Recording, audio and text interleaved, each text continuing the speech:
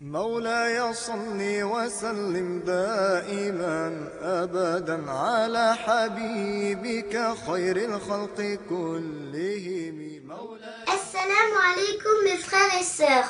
Nous continuons notre série de rappels sur notre bien-aimé Mohammed sallallahu alayhi wa sallam. Après le décès du père du prophète Mohammed Abdullah, son grand-père paternel Abdul Muttalib s'est occupé de sa belle-fille Amina, portant en elle le prophète. Amina a accouché la douzième nuit du mois de Rabi' al-Awwal et c'était une nuit de lundi. Lors de la nuit de la naissance du messager, des signes sont apparus dans le monde pour montrer qu'un événement exceptionnel allait avoir lieu. La naissance d'un être au très haut degré, le meilleur être créé, le prophète de la miséricorde, le bien-aimé Mohammed sallallahu alayhi wa sallam.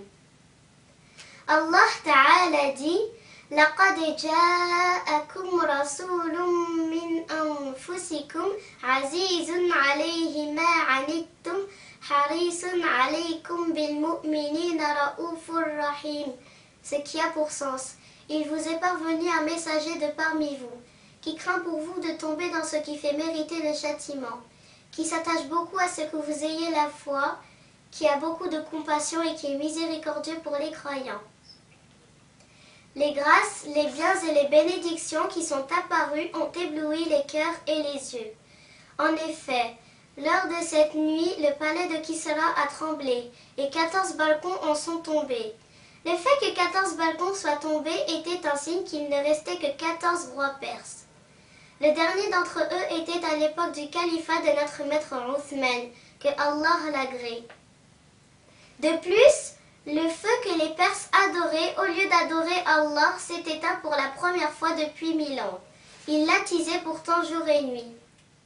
Et le lac de Saouah, ville de Perse, dans lequel naviguaient les bateaux, a été asséché durant cette nuit. Parmi les signes qui sont apparus à sa naissance, le cri que Iblis a poussé, ce fut un cri retentissant, comme lorsqu'il a été maudit, chassé du paradis, et comme lorsque la Fatiha a été révélée.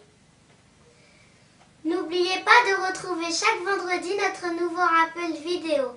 Barakallahu fikum wassalamu alaikum. نفسي فداء أحبتي فوصالهم ثمن تباع به النفوس وتشترى. فيا رب بالمصطفى وآله